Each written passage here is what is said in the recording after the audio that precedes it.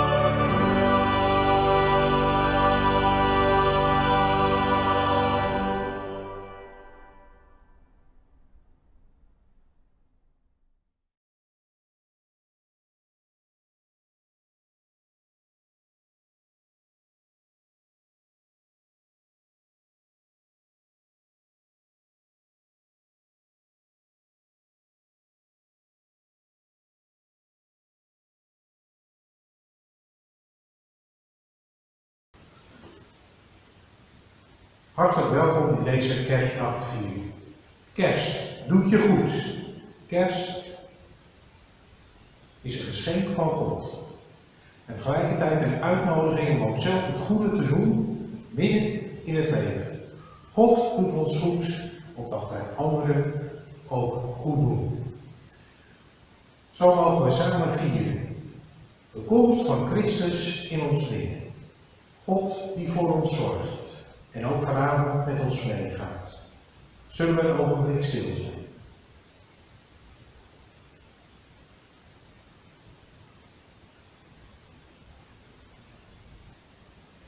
Onze roem is in de naam van de Heer, die hemel en aarde gemaakt heeft, die trouw blijft tot in eeuwigheid en die nooit loslaat het werk dat zijn hand begon. En genade zijn en vrede van God onze Vader, door Jezus Christus de Zoon, in de gemeenschap van de Heilige Geest. Amen. We gaan met elkaar luisteren, ook thuis meezingen, het lied Stille Nacht.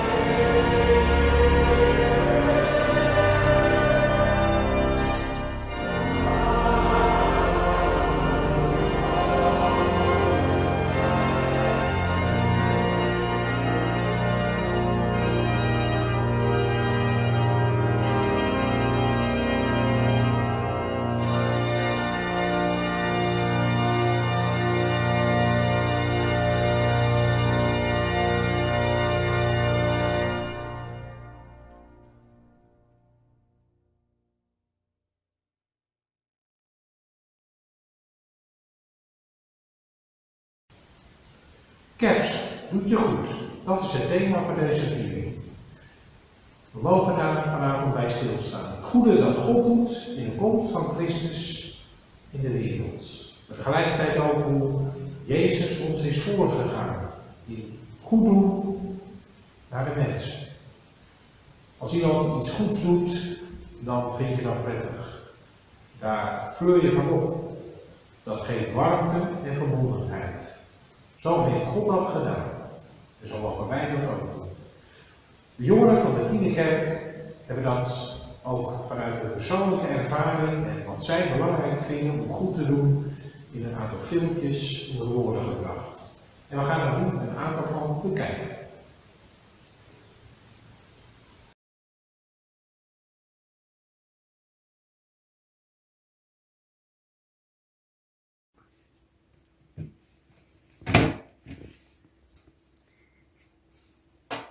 Helpen, cadeautjes geven, naar elkaar luisteren, anderen helpen met huiswerk, dankbaar.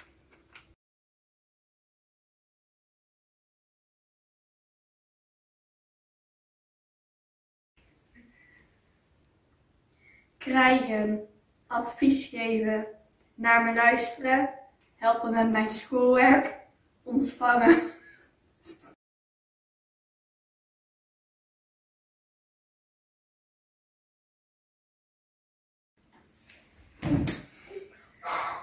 Luisteren naar mij.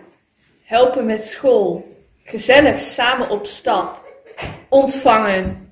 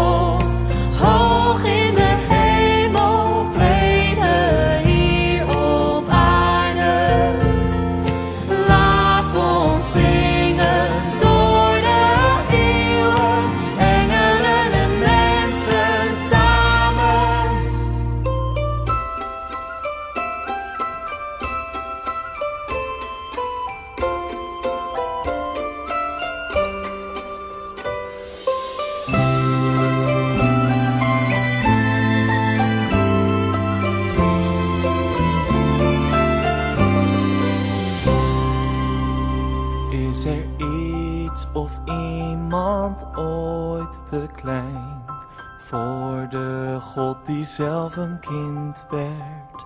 Hij kwam ook voor jou en zelfs voor mij.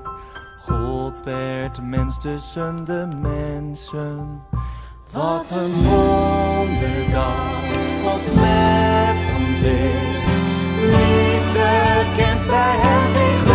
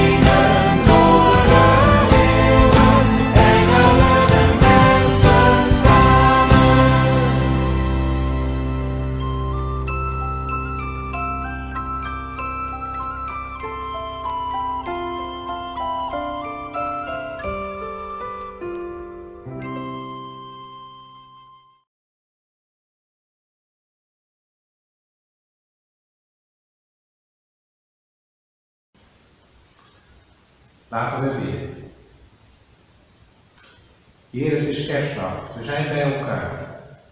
Ja, op afstand. Net als vorig jaar kunnen we niet in de kerk samenkomen. Dat is opnieuw jammer. Dat is opnieuw zorgelijk. En toch wij vertrouwen erop dat u in ons midden bent. En dat u ook vanavond met het licht van kerst, het licht van Christus in ons leven schijnt. Hij kwam midden in deze donkere wereld, juist om daar licht en leven in te brengen. Ook het licht van uw geest. Laat die in ons midden zijn, als wij uw woorden mogen horen. En die woorden ook mogen overdenken. Voed ons dan. Geef ons concrete handvatten om het goede te doen en te zoeken. Achter Jezus aan. Geeft u ons zo een goede dienst. Dat bidden wij u. Om Christus wil. Amen.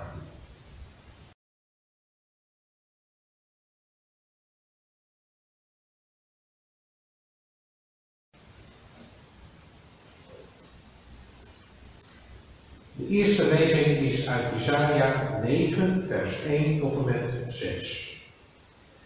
Het volk dat in duisternis rondloopt, ziet een schitterend licht. Zij die in het donker wonen, worden door een helder licht beschenen. U hebt het volk weer groot gemaakt. Diepe vreugde gaf u het. Blijdschap als de vreugde bij de oogst.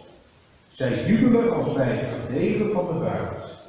Het juk dat op hen drukte, de stok op hun schouder, de staf van de drijver, u hebt ze verbrijzeld, zoals Midian destijds. Iedere naas die dreunend stampte, en elke mantel die doordrenkt is van bloed, ze worden verbrand, ze vallen ten prooi aan het vuur. Een kind is ons geboren, een zoon is ons gegeven, de heerschappij rust op zijn schouders. Deze namen zal hij dragen. Wonderbare raadsman, sterke God, eeuwige Vader, vredevorst. Groot is de heerschappij en zonder einde de vrede voor de troon van David en voor zijn koninkrijk. Ze zijn gegrondvest op recht en gerechtigheid en staan voor altijd en eeuwig vast. De Heer van de hemelse machten brengt dit in zijn vurige liefde tot stand. Tot zover.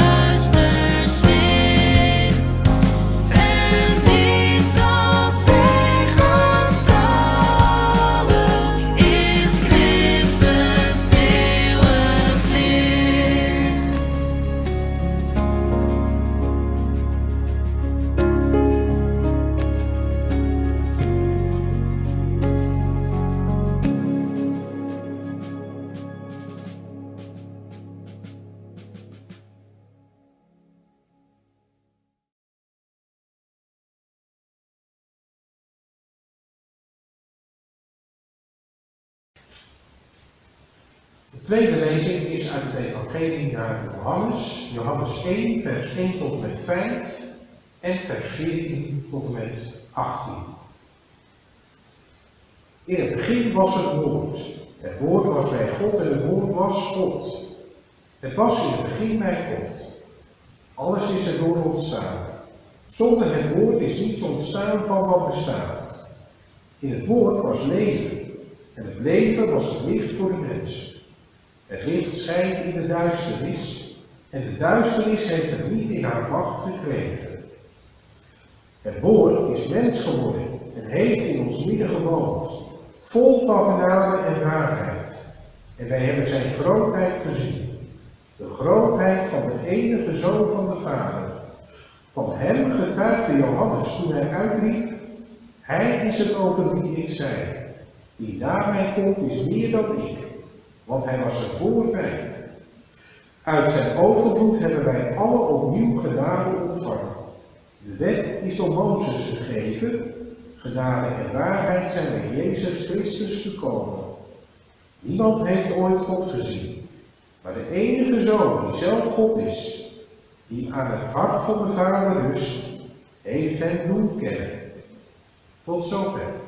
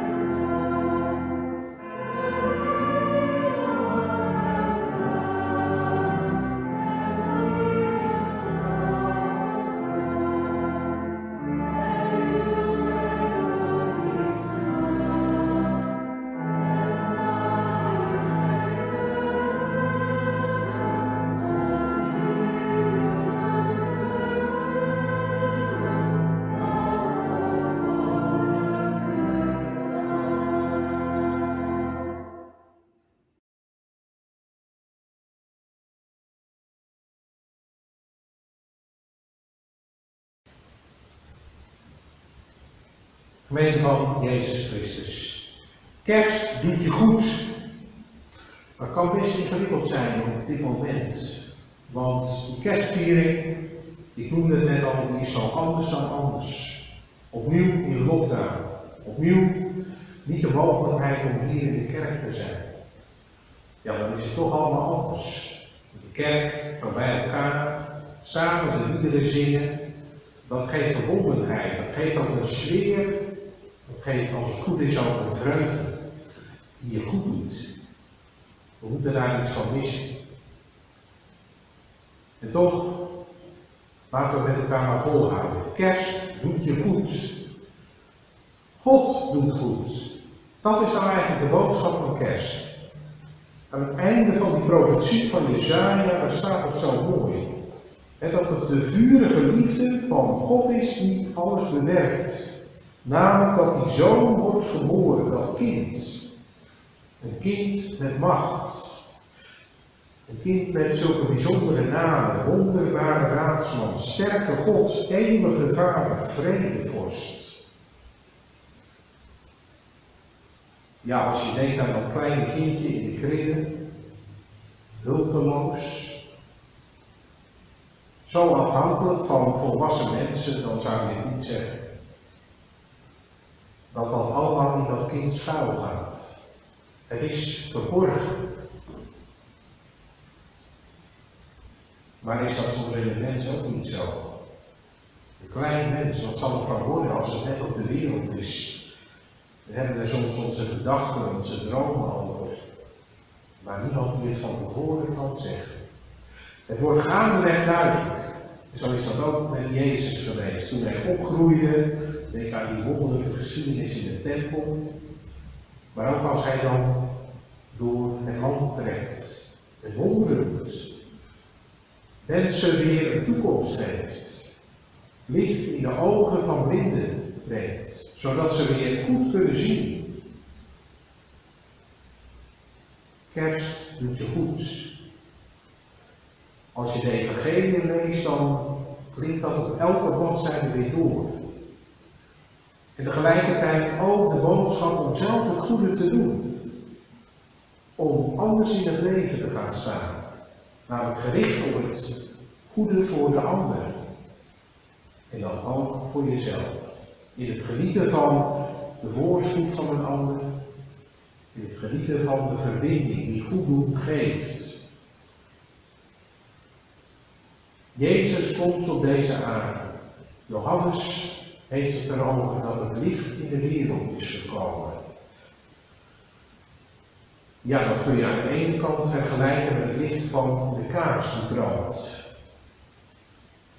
Dat licht dat in het donker opheldering geeft. Maar tegelijkertijd ook licht dat maakt dat je de dingen doorziet. Wat is nou goed? Wat is nou niet goed? Wat draagt bij aan het welzijn van mijzelf, maar bovenal ook van een ander? Hoe kan ik het goede doen? Jezus heeft daar licht op geworpen. Hij heeft het voorgedaan. En zijn voorbeeld mogen we ook volgen. Er mag beweging komen. Een beweging van mensen die aan de ene kant vervuld zijn met hoop. Het is donker. Maar we weten ook van het licht dat schijnt in de duisternis. En dat de duisternis niet in haar macht heeft gekregen.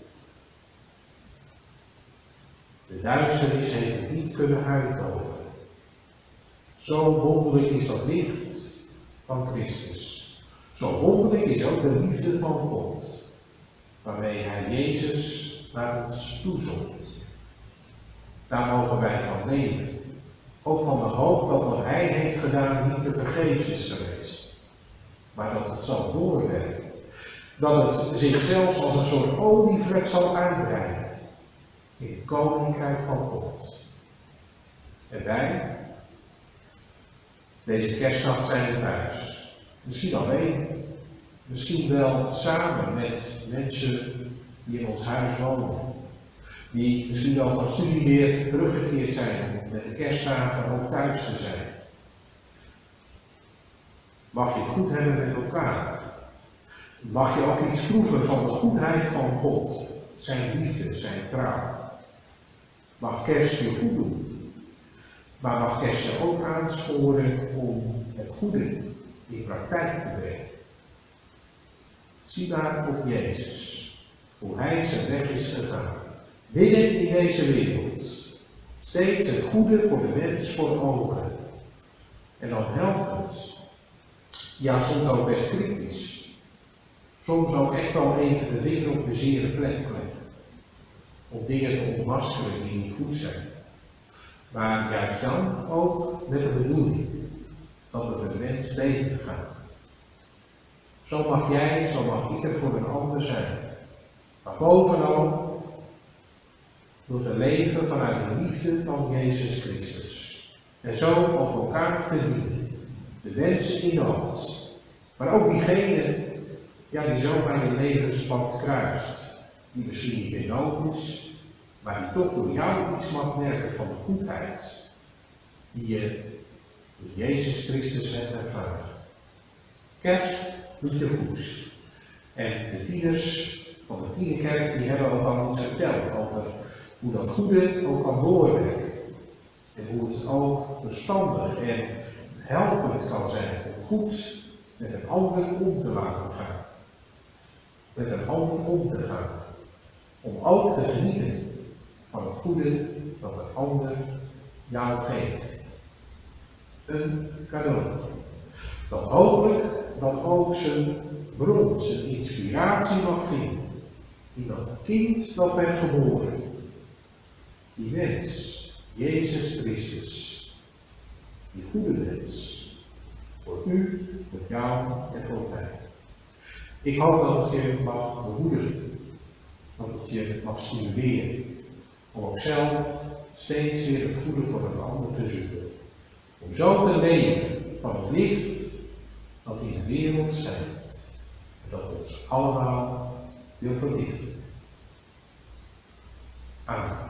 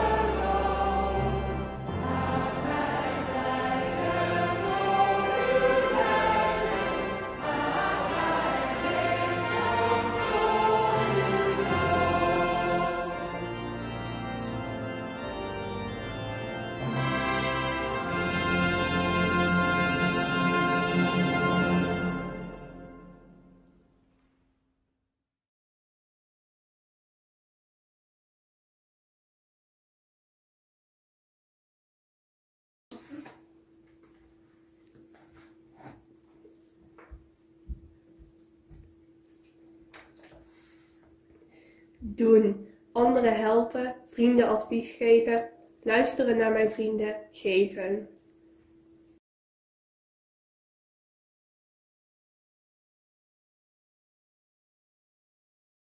Ik wens iedereen die het ziet een vrolijk kerstfeest en een gelukkig nieuwjaar. Doei!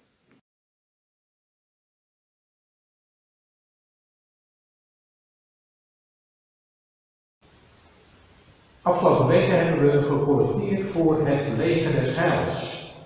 We hebben ook contact gezocht met iemand van het Leger des Heils in Eindhoven, maar helaas door de lockdown kunnen ze hier vanavond niet aanwezig zijn. Maar gelukkig, het is beeldmateriaal, dus we gaan samen ook naar een mooi filmpje kijken waarin je iets ziet van het werk van het Leger des Heils. Ook zoals dat in Eindhoven, hier in Brabant, gebeurt. Een filmpje over herstart. Heb je gezien in je leven de vader inleveren de kinderen voor, voor iemand anders? Hakim. Hallo. Goedendag. Hakim eh, woonde in Nederland, had een goede baan in Nederland. En die ging voor familiebezoek ging hij naar Algerije terug. En daarom nam hij ook de kinderen mee. En toen hij terugkwam uit Algerije zijn zijn kinderen hem let- letterlijk ontnomen. doordat de politie op het vliegveld de kinderen meenam. En hij kon niet terug naar huis, want ehm, zijn vrouw had een straatverbod voor hem, begin van de scheiding. Ehm, zijn werkgever wilde hem niet terug, omdat hij een half jaar naar het buitenland was geweest zonder van tevoren te melden dat hij dat ging doen en wat hij ging doen. Ja, zo zijn de problemen ontstaan en ook de psychische problemen. Heel veel te verwerken in een hele korte tijd. Ja, dan heb ik gewoon alles in één keer in mijn hersen. Wat gebeurt met mijn leven? In één keer. Ik mis mijn kinderen. En dat voelt pijn. Hakim was alles in één klap kwijt. Zijn relatie, zijn kinderen, zijn huis, zijn werk. Er was even helemaal niks meer. Dan moet je inleveren die kinderen. Heb je gezien in je leven de vader inleveren die kinderen voor, voor iemand anders? Bij mij dat gebeurt. Dat, dat was zonder signaal voor mij. Het is gewoon komt, pats. Bij Herstart proberen we zo snel mogelijk in een periode van 6 tot 12 weken ehm, cliënten naar een eh, vervolg, passend vervolgtraject te begeleiden. En wat wij doen is, we zetten een traject uit op de leefgebieden waar zij problemen hebben. En dat moet leiden totdat zij weer een eh, goede toekomst tegemoet gaan. En ehm, het ook weer zelf kunnen gaan doen. Het is moeilijk om mijzelf te vinden zoals vroeger. En weer opnieuw te beginnen. Op de benieuw, ja. Alles weer aan te pakken. Kwestie van tijd. Uh, Hakim gaat hier vandaan naar een oefenwoning met ambulante woonbegeleiding. En deze woning wordt in de toekomst, hopen we, van Hakim zelf. Wil ik mijn kinderen zien en dat is heel grote waarde voor mij. Ja. Het is niet voor mij. Maar het gaat niet heel snel gebeuren, hè? dat weet je. Dat is een hoop. Ja, maar hoop is nodig om te leven. Hè? Precies, dat is beter dan heb je niks.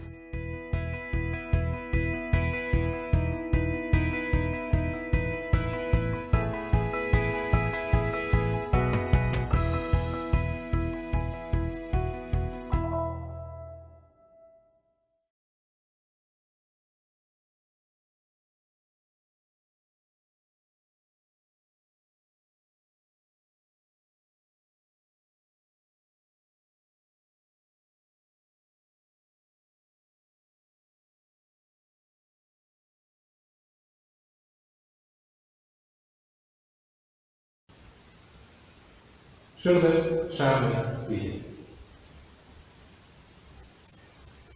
Heer, wij danken u dat het kerst mocht worden. Dat ooit dat licht van Christus is gaan schijnen midden in deze wereld. En dat u dat zelf hebt gedaan. Door uw liefde, door uw trouw. Heer, dat mag ons ook licht, hoop geven. Leg dat in ons hart. Dat we in welke omstandigheden we vanavond ook deze dienst bekijken en meevieren. Iets van dat licht mogen ervaren en daardoor bemoedigd worden. Heer, wij danken u voor al het goede dat wij in uw Zoon Jezus Christus hebben ontvangen. Hoe Hij ons is voorgegaan hoe hij zijn leven in dienst heeft gesteld van uw opdracht. Om de band tussen God en mens te herstellen. U bent goed in hem. En u stimuleert ons ook om dan zelf ook het goede te doen. Het goede leven te omarmen. En er zo ook te zijn. Vanuit de liefde gedreven voor anderen. Heer, wij danken u voor al het goede dat u zo ook aan ons schenkt. Heer, wees ook met ons in deze avond als wij ziek zijn. Als ons leven misschien ten einde loopt en we dat beseffen. Wees dan ook met al die mensen die om ons heen staan. Wees ook met ons als wij eenzaam zijn. Heer, mogen we dan toch een blijk van aandacht en medeleven ontvangen in de vorm van een kaart, een telefoontje. Iemand die toch eens even aan de deur komt en vraagt hoe het met je is. Dat mag in alle eenvoud. Die wij bidden voor hen die juist ook in deze dagen het gemis ervaren, dat iemand hier niet meer is. Dat u dan ook troosten. Dat u dan ook een God zijn die ons niet alleen laat. En die ook mensen geeft die naar ons omzien. Heer, wij bidden ook voor uw wereld, waarin het nog zo donker is. Corona. Het grijpt om zich heen. Heer, help ons om daarin ook het goede te doen. Zodat we met elkaar ook die pandemie kunnen overwinnen. Wees daar waar mensen nog minder dan een afdakje boven hun hoofd hebben. Nog minder dan Jezus had in het kerstevangelie. Omdat ze op de vlucht zijn geslagen. Verdreven van huis en huis. Alles hebben moeten achterlaten en nergens een plek vinden waar ze welkom zijn. Waar ze hartelijk worden ontvangen en de hulp krijgen die ze nodig hebben. Heer, wees dan met hen en geef ook dat wij mensen in nood zien. En dan niet aan de zijlijn blijven staan of doorlopen, maar omzien, zorgen voor elkaar. Ook voor de vreemdeling, ook voor de vluchteling. Hier zo bidden wij dat het licht mag worden in heel uw wereld. Dat het licht van kerst overal mag schijnen. En dat de vrede waarvan uw woord spreekt, ook werkelijkheid zal worden. Help ons om ook daaraan dienstbaar te zijn, in het klein en in het groot. Hier zo vragen wij u of u het licht, van kerst zelf wilt verspreiden. U de vrede die Jezus is komen brengen, ook wilt delen. Uitdelen aan alle mensen. Wees zo onze God. Wees zo nabij. Wees zo licht in de wereld. Opdat ook wij licht en zout kunnen zijn. Wij vragen u dat in Jezus' naam. Amen.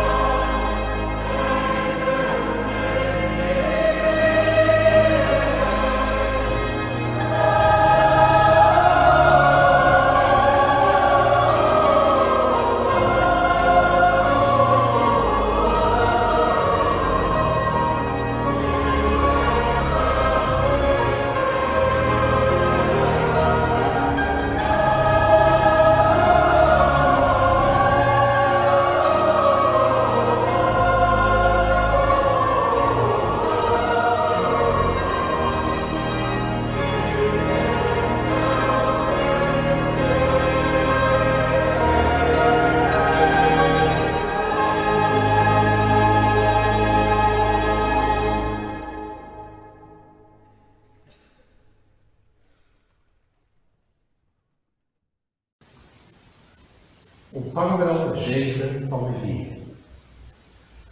De Heer zegene u en hij behoede u. De Heer doet zijn aangezicht over u lichten en zijn u genadig. De Heer verheft zijn aangezicht over u en geeft u vrede. Amen.